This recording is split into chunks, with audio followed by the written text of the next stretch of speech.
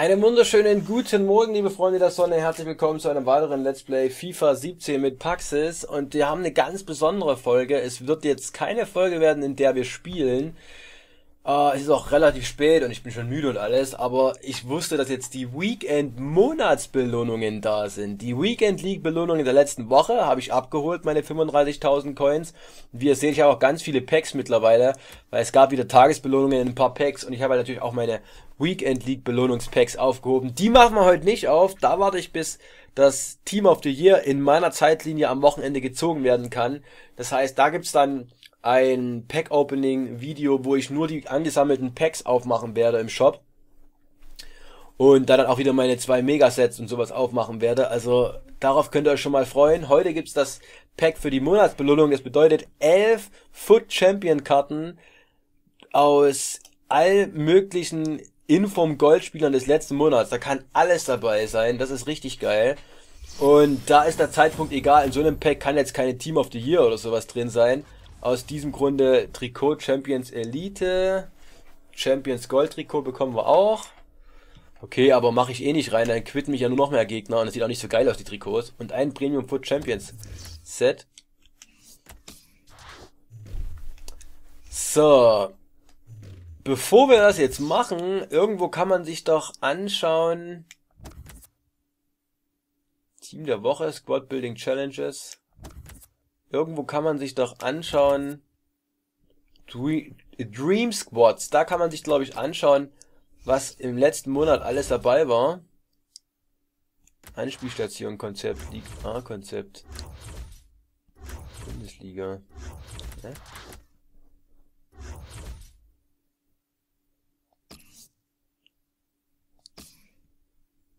Ich bin gerade Wo kann man sich denn... Nee, Moment mal.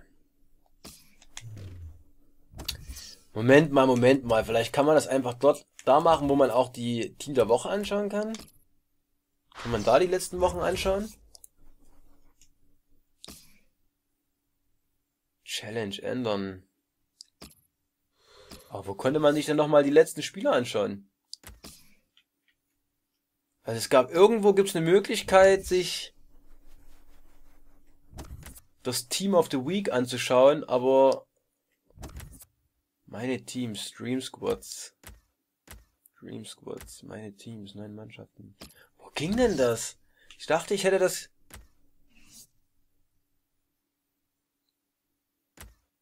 Team selbst aufbauen.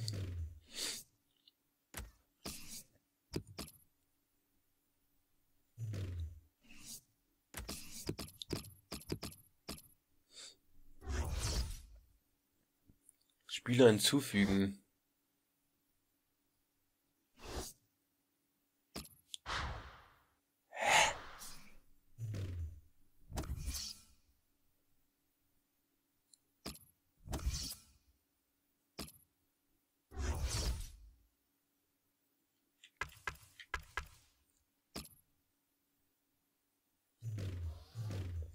Hm, ich bin gerade, ich bin gerade so ein bisschen überfragt. Ich weiß, dass man das irgendwo machen kann.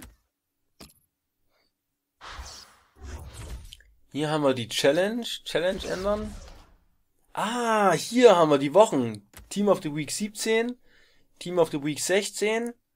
Moment, heute ist, da muss ich mal direkt meinen Kalender auf dem Handy aufmachen, damit ich gucken kann, was für Wochen das sind. Da, da, da, da, weil ich möchte natürlich das hier ein bisschen spannender machen. Also wir gucken uns zuerst an, was für Spieler wir rein theoretischerweise drin haben könnten. Da können wir wenigstens mal ganz kurz drüber reden. Also, Team of the Week 17 ist diese Woche, ist diesen Mittwoch. So, das heißt, das ist diese Woche. Dann ist das letzte Woche, das bedeutet, da war schon Januar. Äh, ja, genau. Also brauchen wir Dezember. Das war letzte Woche. Das war letzte Woche, Januar. So, das heißt, das ist dabei. Das war dann der 28. Also 15.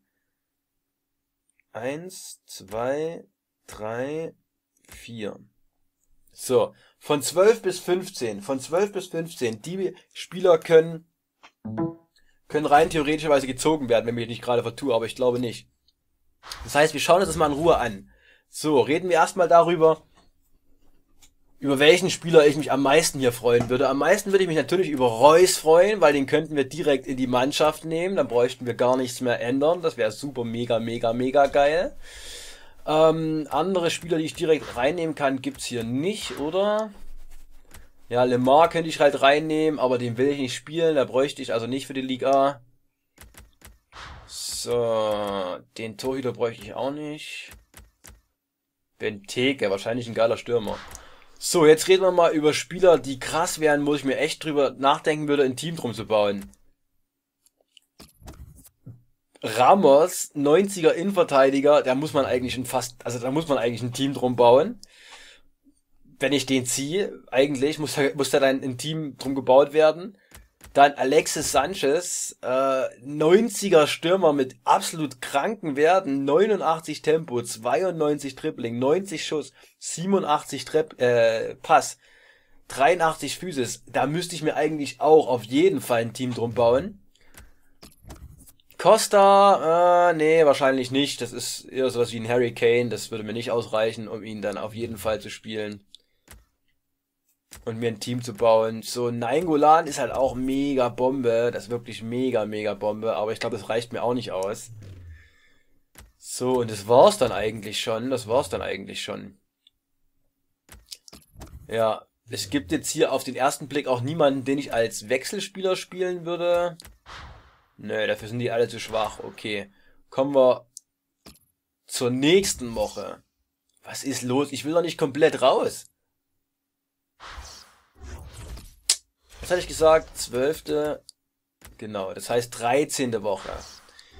Welchen Spieler hätte ich denn da gern?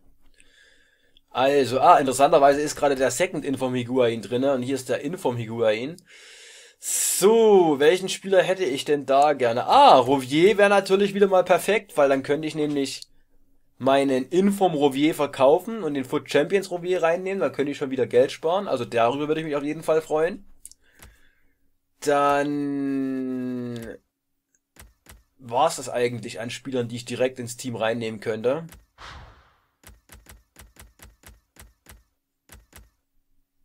Ja. So, über wen würde ich mich denn freuen? Also Higuain ist natürlich so ein krasser Stürmer, da müsste ich eigentlich ein Team drumherum aufbauen. Ich meine 90er Stürmer, was soll ich dazu noch sagen? Sollte klar sein.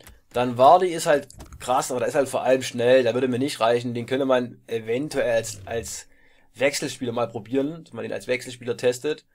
Jordi Alba ist halt ein absolut unglaublicher Linksverteidiger. Da ist halt so krass. 94 Tempo, 86 Defense, 87 Dribbling, 82 Pass, 80 Physis.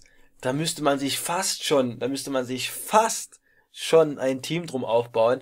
Ansonsten könnte man den wahrscheinlich auch super gut als Wechselspieler nehmen, weil der funktioniert auf Garantie auch als LM, RM etc. Also da würde ich mich auch freuen, aber ich glaube, ich würde mir noch kein Team aufbauen drum.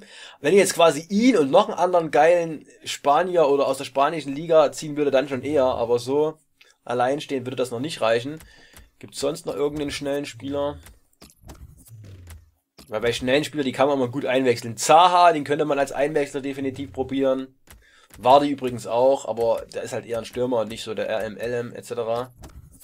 Oh, der ist auch super schnell. Das heißt, Semedo könnte man testen als Einwechselspieler. Aber es ist nicht das ultra krasse Team.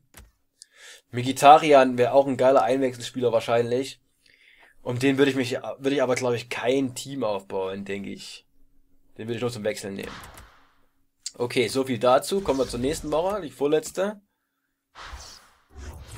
So, das ist natürlich ein krasses Team der Week, äh, Team der Week, Team der Woche. Okay, den Inform Dembele würde ich mich super freuen, weil dann könnte ich nämlich meinen verkaufen und ihn als Foot Champions reinnehmen. Logisch, wäre richtig geil. Dann Inform Bruma würde ich auch gerne nehmen, kann ich nämlich meinen auch verkaufen, wäre also auch richtig geil. Ähm, noch irgendjemand? Second Inform Balotelli könnte man mal testen. Könnte man mal testen, statt Inform Lacassette. Asplio, As, Aspilioqueta, ist das nicht eigentlich ein Außenverteidiger? Egal, auf jeden Fall als Innenverteidigung mit 8, als Innenverteidiger mit 81 Tempo ist richtig krass. Hat geile Werte.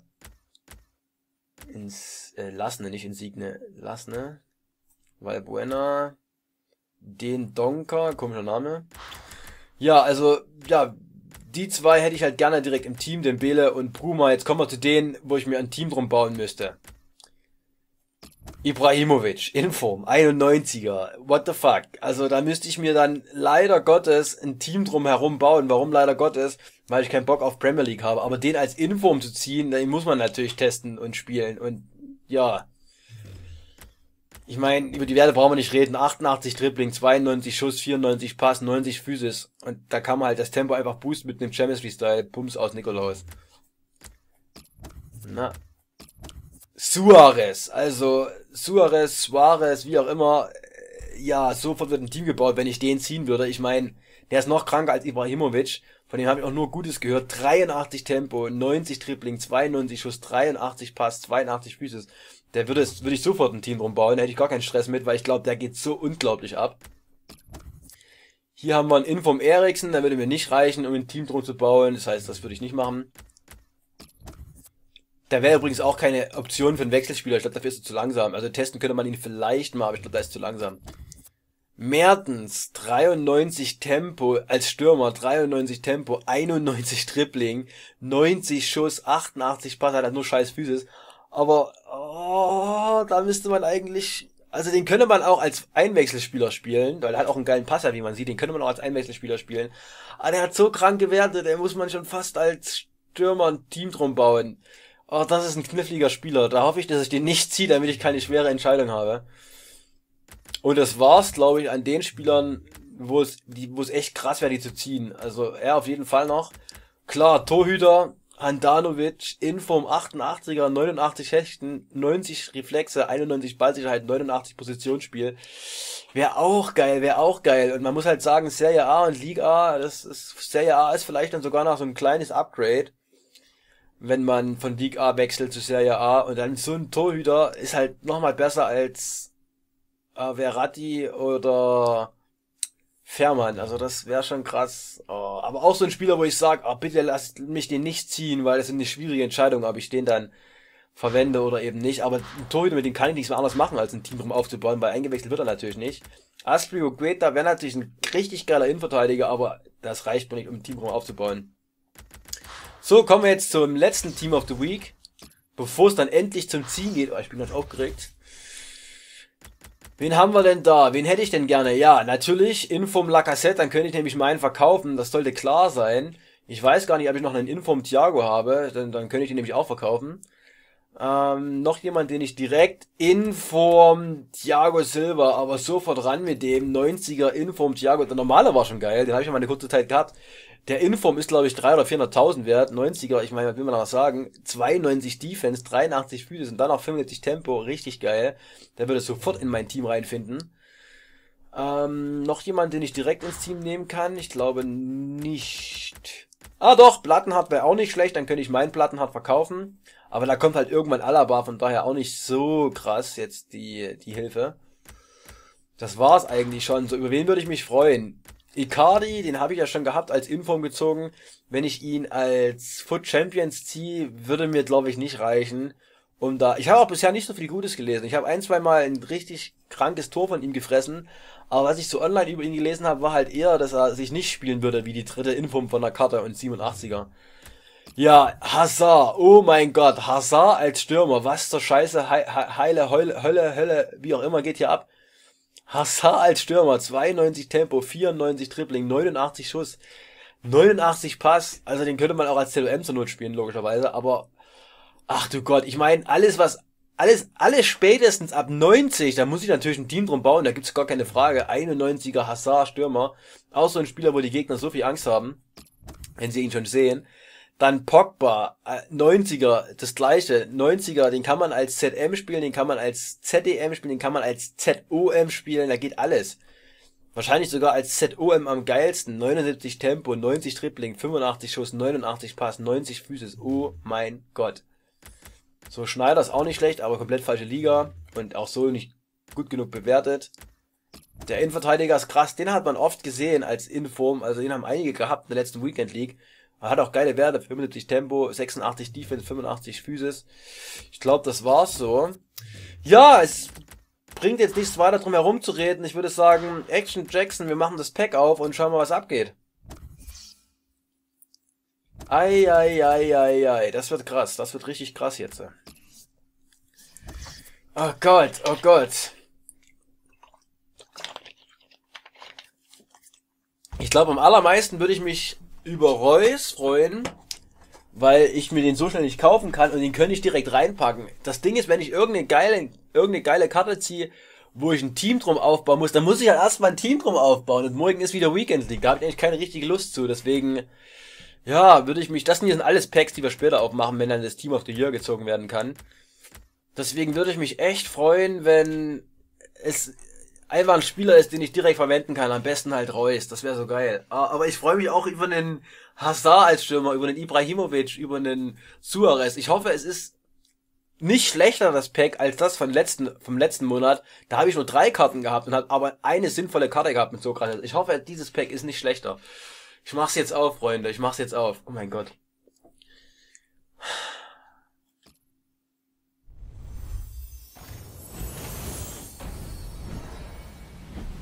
Ach du Scheiße, ach du Scheiße, ach du Scheiße.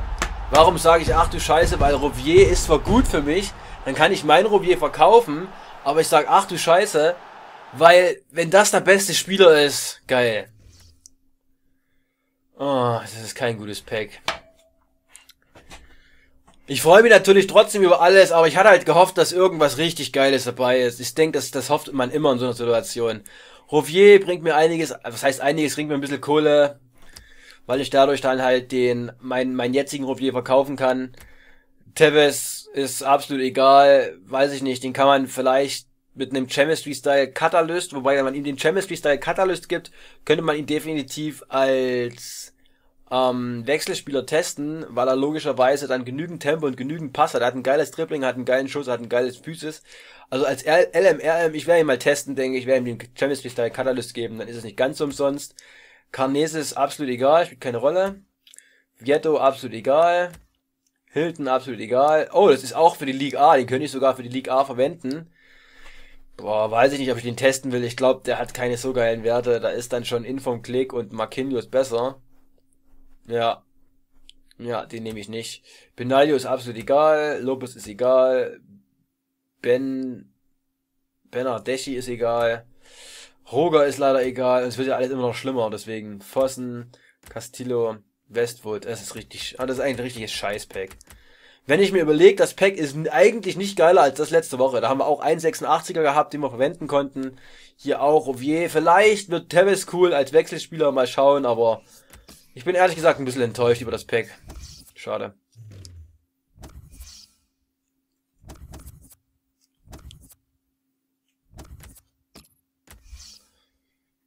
Das denn?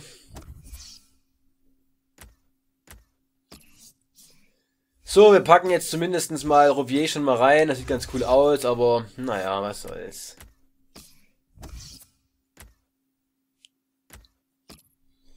Und wahrscheinlich ist auch Rouvier nicht so viel wert. Also das ist halt leider das Problem. Er ist auch nicht, wird auch nicht viel wert sein. 70, 68. Oh, okay, das geht. Knappe 70.000 ist okay. Ich hätte weniger gedacht, aber das ist okay.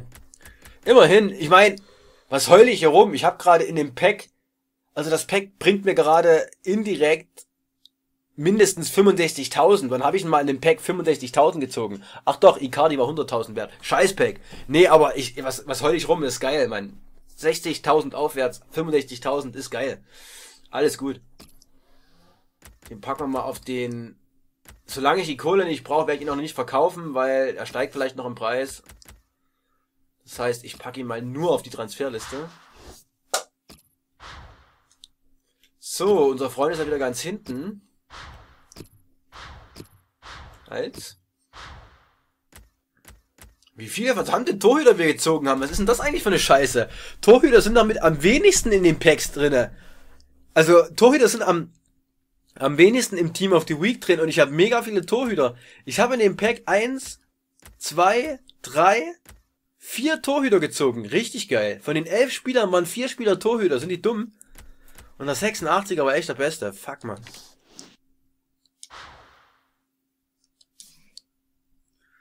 Naja, es sieht jetzt auch die League A ein bisschen cooler aus durch den roten. Das haben wir in jeder Mannschaft einen roten. Das ist doch schon mal besser als nichts. Aber wie gesagt, ich hätte mich definitiv. Ja, ich hätte echt gehofft, dass irgendwie noch, noch geilere Karte dabei ist. Schade. Oh, Glove müssen wir noch kaufen für ihn. So, Tevez, Tevez. Wer wird denn da jetzt getauscht? Wir haben einmal Bellarabi und wir haben Hintep. 31 Spiele, 3 Tore, ein, eine Vorlage. 100, äh, 231 Spiele, 16 Tore, 24 Vorlagen. Ich bin, also vom Gefühl her würde ich halt sagen, Bellarabi hat sich besser angefühlt. Aber es ist halt so, also wir können einfach mal die, wir können einfach mal nach Quote gehen, auch wenn natürlich das ein bisschen unfair Bellarabi äh, hinter gegenüber ist, weil Bellarabi so viel weniger Spieler hat. Wir gehen jetzt mal nur nach reiner Quote. 31 durch 4, da sind wir bei 7,75.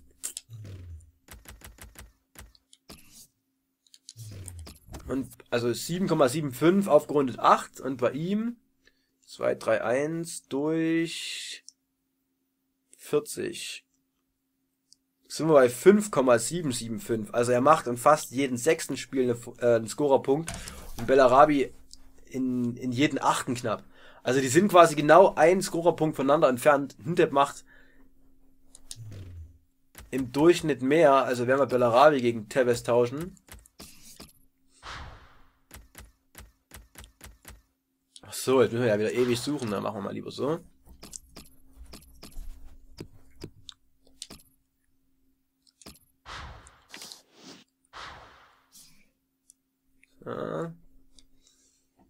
Das Schöne ist, durch seinen schönen Schuss haben wir auch einfach nicht das Problem, dass wir ihn jetzt zum Beispiel Maestro oder sowas geben müssen. Also seinen Schuss brauchen wir einfach nicht verbessern. Wir können wirklich Tempo und Pass maximal boosten und er kann auch mal als Stürmer eingewechselt werden, wenn ich das will, oder als ZOM, aber er muss halt einfach liefern, das werden wir dann sehen, ich bin gespannt. Ah, er hat nur drei Sterne auf den schwachen Linken, okay. Hoffentlich habe ich noch Katalyst. Ah, natürlich habe ich Katalyst nicht mehr. Aber ich will das jetzt direkt hier geklärt haben, deswegen... Ach, Glove brauche ich auch noch. Wir kaufen jetzt also mal Glove und Katalyst. Ach man, ich hätte trotzdem mich gefreut, wenn irgendein... Aber die Wahrscheinlichkeit ist halt einfach sehr gering, einen sehr, sehr krassen Stürmer zu ziehen. Wahrscheinlich ist die Wahrscheinlichkeit einzuziehen, der über 86 ist, entsprechend gering und deswegen hat jetzt in beiden Packs jeweils ein 86er. So, was wollte ich machen? Ach ja. Das heißt, morgen geht's für mich schon wieder los mit der Weekend League. Mal gucken, ob ich entsprechende Zeit habe und direkt freitags spielen kann. Und das heißt für euch, die nächste Folge ist dann schon die nächste Weekend League für euch. Mit einem getesteten Tevez als Einwechselspieler und einem Foot Champions Rouvier immerhin. Wie gesagt, ich kann mich, also ich bin jetzt zwar immer noch ein bisschen bedrückt und ich finde es schade, dass ich nicht besser gezogen habe, aber es hätte wie gesagt auch einfach ein 86er Spieler sein können, der mir gar nichts bringt. So habe ich 65.000 Coins Minimum damit gut gemacht. Alles okay. Es hätte besser sein können, aber es hätte auch deutlich schlechter sein können. So, Chemistry Styles. Catalyst. Müsste wieder relativ teuer sein. 4-3.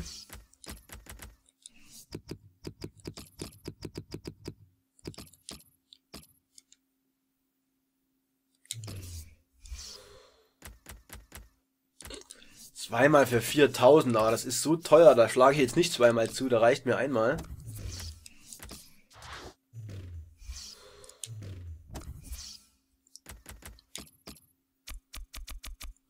Glove. Ich glaube, Glove ist auch der Lieblings-Chemistry-Style bei den Torhütern. 2,6.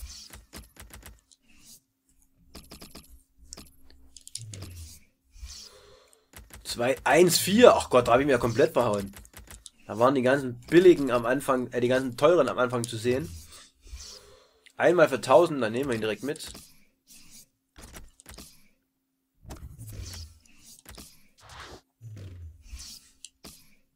Oh verdammt, ich glaube der... Hatte ich nicht dem Rovier von mir so viele Verträge gegeben? Ich weiß gar nicht mehr. Ach so, ich wollte mal gucken, was Verträge kosten.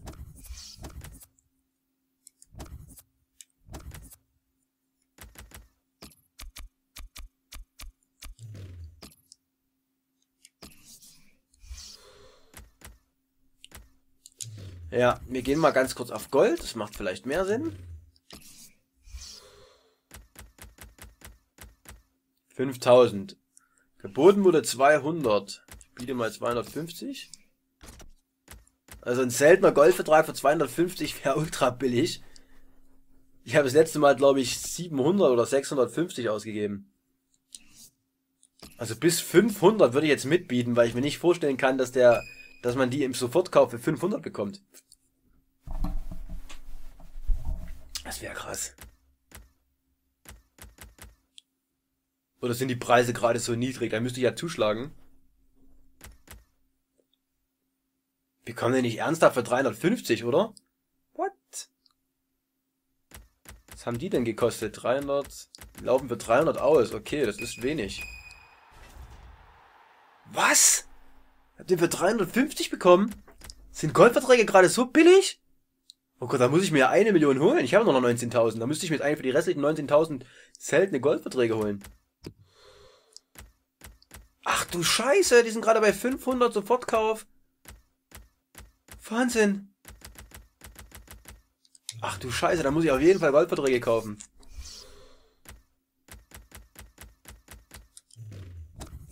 Ja, da gehen wir mal 450 ein. Und gucken mal, was passiert. Ob es da auch noch welche gibt. Ne, wir geben erstmal 200 ein und ich guck mal, ob's Ne, 250, ob's die normalen Goldverträge für 250 äh, gibt. Ja, die gibt's für 250. Ach du Gott.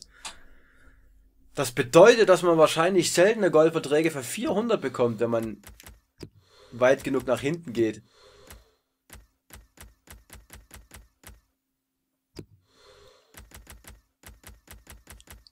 Eieiei.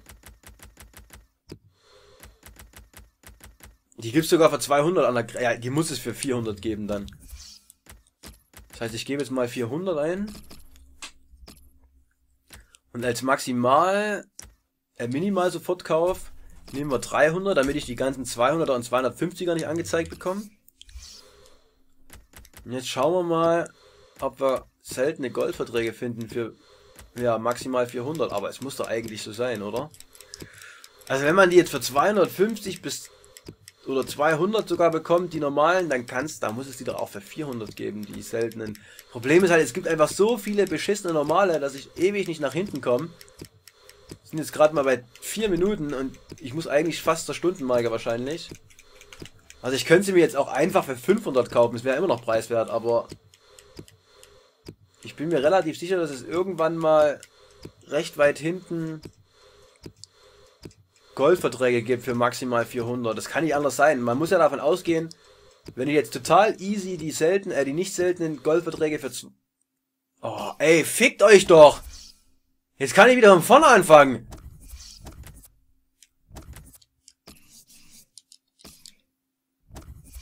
Was ist los?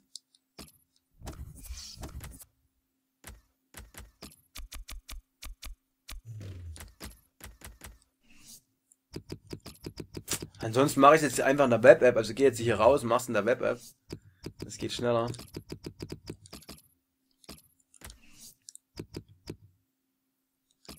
Oder ich kaufe mir einfach die normalen Verträge für 200, weil es scheint ja nicht so zu sein, dass es total easy wäre, jetzt äh, Goldverträge selten für 400 zu finden. Das wäre also auch eine Möglichkeit.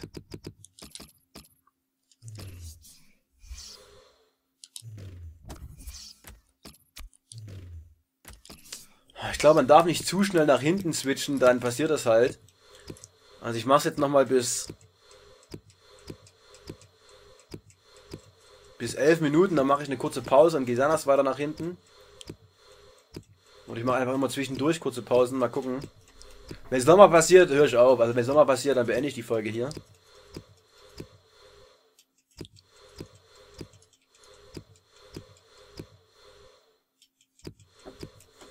So, hier geht es kurz mal etwas schneller. Wir waren, glaube ich, fast bei 20 Minuten und es gab noch keinen seltenen Goldbetrag. Sind wir schon bei 14.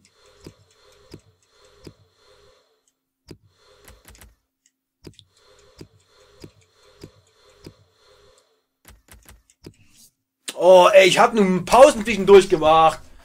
Scheiß drauf. Also bis zum nächsten Mal. Tschüss, tschüss, euer Paxis. Daumen nach oben.